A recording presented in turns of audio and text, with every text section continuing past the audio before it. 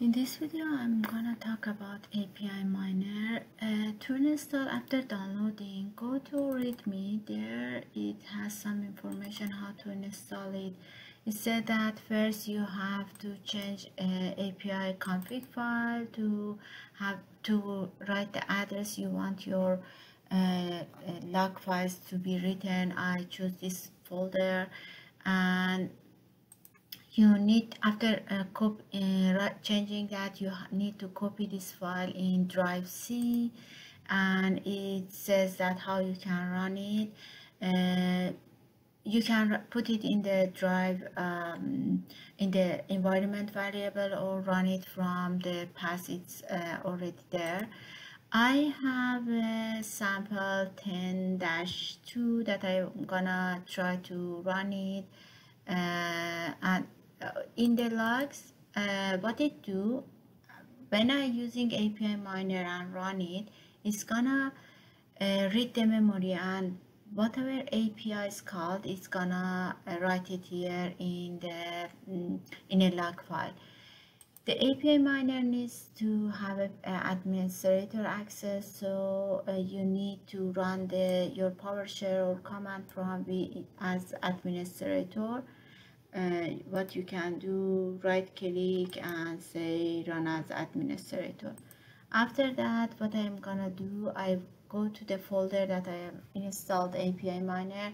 The command I uh, use is API miner.exe dash dash app uh, the folders that uh, the my sample is uh, there. I'm gonna run sample 10 dash 3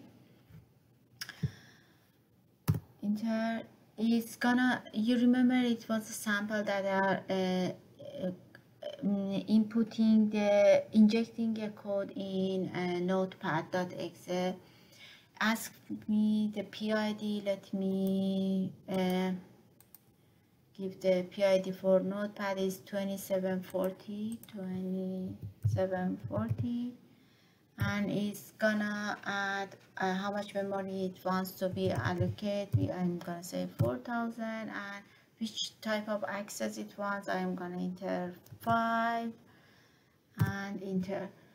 Uh, it's allocated let's uh, after running this uh, you see that how it's executed. As it I didn't double click the file I uh, I just run API miner.exe dash dash app and the name of the uh, sample.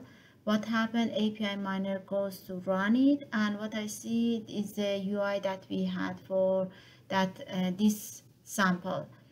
Let's go check the logs. In here you see another files created. If I am double click on it, I'm gonna see the logs related to that file you see list of the APIs calls even here it said enter PID of notepad.exe shows that it's, it's write console. It's the API write this buffer in the console.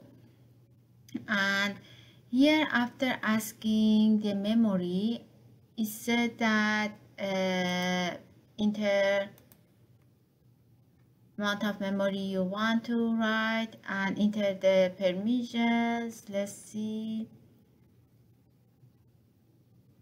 Uh, here it's called nt allocate uh, virtual memory. It allocate the memory it says in this address.